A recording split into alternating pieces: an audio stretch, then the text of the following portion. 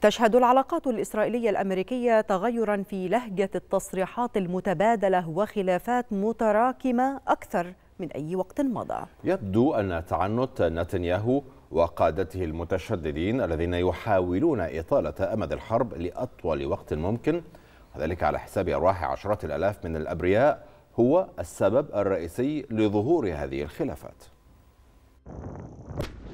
ما زالت تواصل إسرائيل إحراج الولايات المتحدة وسائر داعميها بعدوانها البربري الغاشم على المدنيين العزل بقطاع غزة ضاربة بعرض الحائط كل التحذيرات والتنديدات بشن عملية عسكرية في مدينة رفح جنوبي قطاع غزة. تصرفات تل أبيب دفعت واشنطن لتعليق شحنة مساعدات. كانت تضم 3500 قنبلة ثقيلة. في خطوة هي الأولى من نوعها منذ بدء العدوان على قطاع غزة في السابع من أكتوبر. أكتوبر الماضي ما أغضب قادة مجلس الحرب الإسرائيلي وعلى رأسهم رئيس الوزراء بنيامين نتنياهو والذي راح وقادته المتطرفون يؤكدون أن عملية اجتياح رفح الفلسطينية ستتم في كل الأحوال دون الالتفات لتحذيرات البيت الأبيض. وزير الخارجية الأمريكي أنتوني بلينكن دافع عن قرار تعليق شحنة الأسلحة بناء على انعدام ثقة بلاده في وجود خطة ذات مصداقية لدى إسرائيل لحماية نحو مليون ونصف مليون مدني يحتمون في رفح الفلسطينية. وأوضح أن الرئيس جو بايدن لا يزال عاقد العزم على مساعدة تل أبيب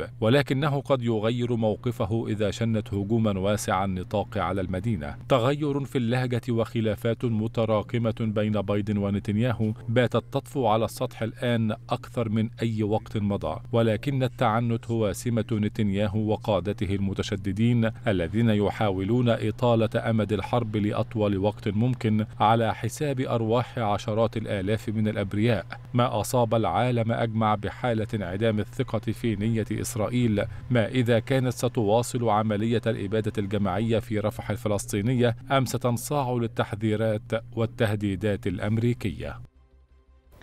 أعرب الرئيس السابق للمخابرات العسكرية الإسرائيلية أعرب عن قلقه بشأن علاقة إسرائيل مع الولايات المتحدة. ونقلت شبكة سي بي إس الأمريكية عن المسؤول الإسرائيلي السابق قوله أن تل أبيب تواجه تحديا في صون القيم المشتركة مع واشنطن مشيرا إلى أن البلدين يبتعدان عن بعضهما البعض وهو ما وصفه بالتهديد الاستراتيجي.